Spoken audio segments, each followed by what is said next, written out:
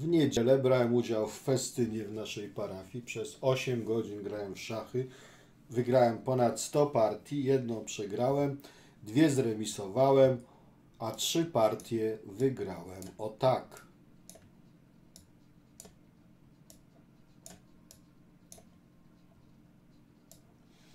Według analiz Damiana sprzed 500 lat.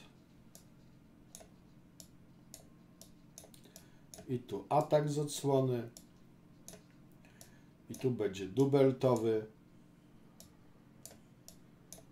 I pan Maciuś.